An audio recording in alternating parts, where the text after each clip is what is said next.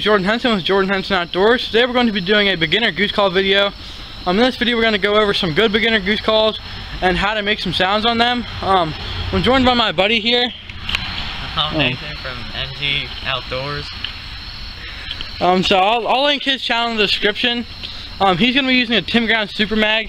You can see it right there. The blue call. Um, I'm going to be using a Zink Power Hen and a Zink Naughty by Nature call just to show you like how much different and how much more stuff you can do on, an, on a higher end acrylic call than you can a polycarb.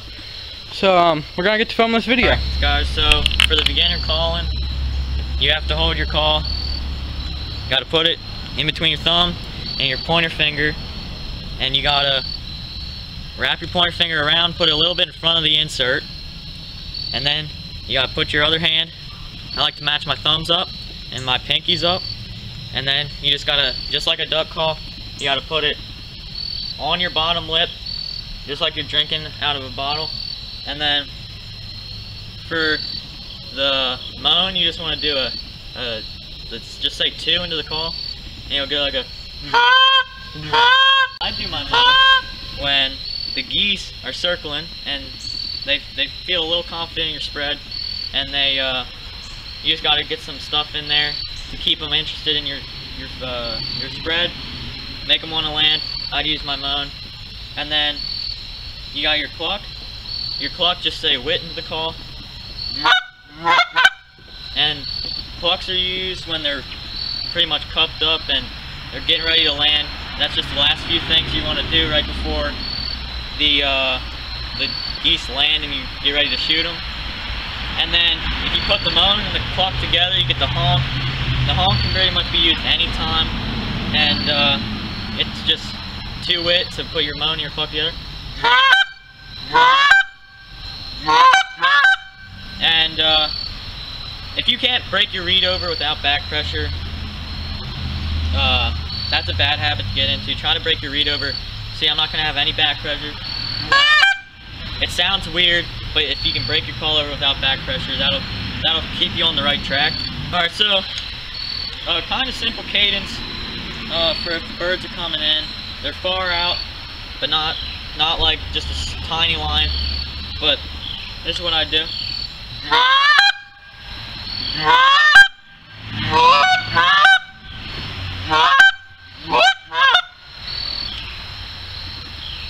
Just messed up. Alright, so this is my cadence if the birds are coming in. They're pretty, they're decently far out. You're to start out with some honks. Ah! Ah! Ah!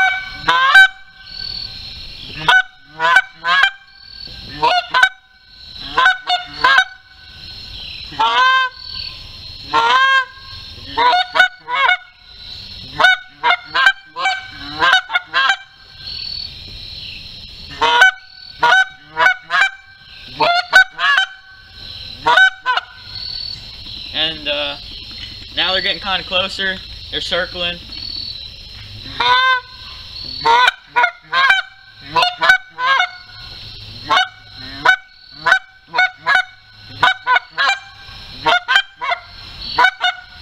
And when they're cupped up, they can still flare. So put in a few more clucks, and then they'll pretty much finish. And uh, pretty much my cadence.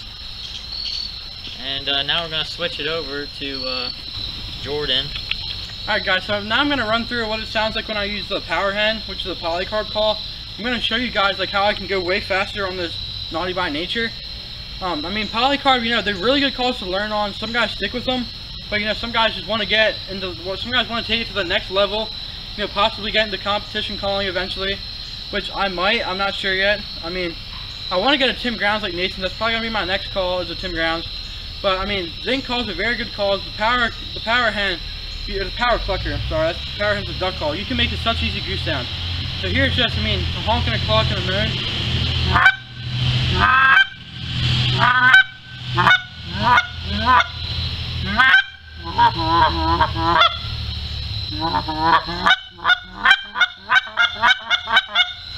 So if you guys could tell there, when I started going fast right there, it didn't sound right. Like, it didn't sound like it should. It's not the worst, but I mean, it could possibly flare birds, you know, especially late season when they're smarter. You know, they're not going to want to hear that, you know, they're not going to want to hear you mess up. I mean, if you if you keep doing that a lot, you know, you're not going to kill anything. Um, so here, so here I'll run through why I mainly switch to an acrylic call. So here, right here is how is why. So you, you'll probably hear that I mess up here and I'm going fast.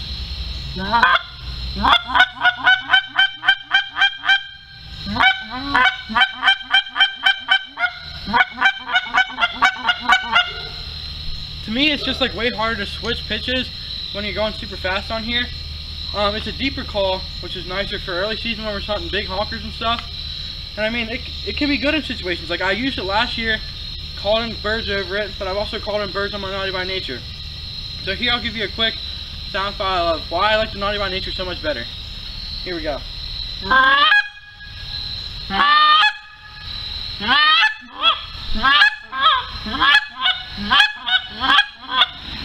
So I can make sounds like that, like, which like I can't do on my on my polycarb call, and also Naughty by Nature is a high, much higher pitch call.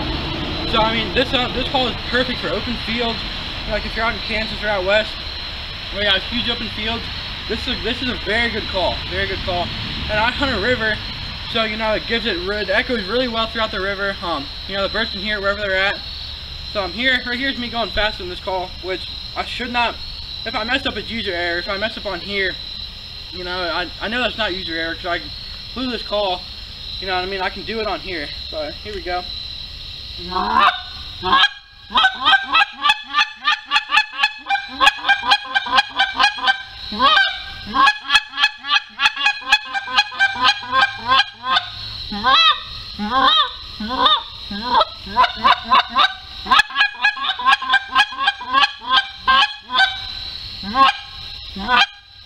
So if you guys could tell, couldn't tell, I did not mess up when I was going fast.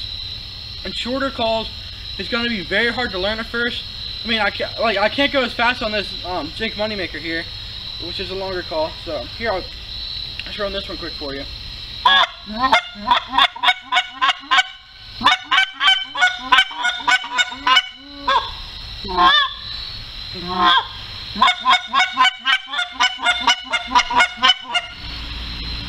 that messed up right there. Like when I'm going fast on these longer calls, I just can't get it to switch right. That might just be me, but I mean, from my experience, I would, I would 100% recommend a polycarb power clucker to anybody who's wanting to get into goose calling. I might actually, if you guys want, when we get to 150 subscribers, I'll do a giveaway and a power clucker.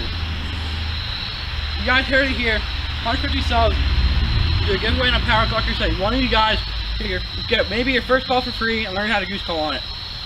Um, but yeah, so that so I think that's gonna be pretty much it for this video. All right, so the video is over now, but you gotta subscribe to Jordan Henson Outdoors, and my channel is gonna be linked in the description. I don't have any videos right now.